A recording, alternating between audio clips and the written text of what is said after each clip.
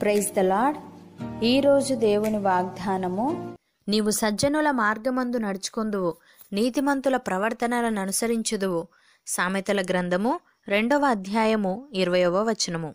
సహోదరి సహోదరులారా జ్ఞానుల సహవాసము చేయువాడు జ్ఞానము గలవాడగును. మూర్ఖుల సహవాసము చేయువాడు చెడిపోవును. కీడు పాపులను తరుమును. నీతిమంతులకు మేలు ప్రతిఫలముగా వచ్చును.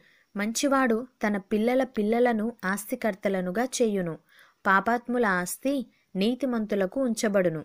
భక్తుడు ఈ విధంగా అంటున్నాడు యహోవా కొరకు కనిపెట్టుకొని ఉండుము.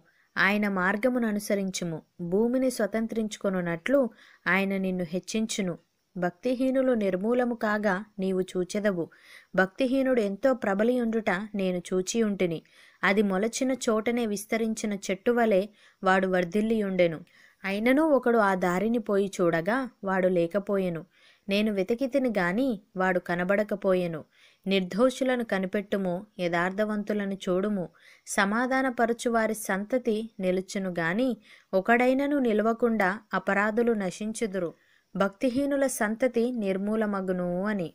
ప్రియులారా కీడు చేయుట మాని మేలు చేయుము. అప్పుడు నీవు నిత్యము నిలుచుదువు.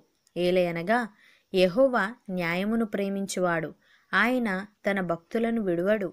వారెన్నటెన్నటికీ కాపాడబడుదురు గాని భక్తిహీనుల సంతానము నిర్మూలమగును. నీతిమంతులు భూమిని స్వతంత్రించుకొందురు. వారు దానిలో నిత్యము నివసించెదరు.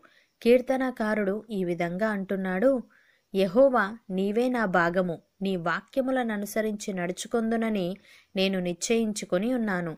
కటాక్షముంచుమని నా పూర్ణ హృదయముతో నిన్ను బతిమాలుకొనుచున్నాను. నీవిచ్చిన మాట చొప్పున నన్ను కరుణింపుము.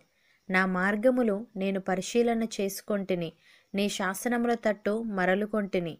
నీ ఆజ్ఞలను అనుసరించుటకు నేను జాగు చేయక త్వరపడి తిని భక్తిహీనుల పాశములు నన్ను చుట్టుకొని ఉన్నను.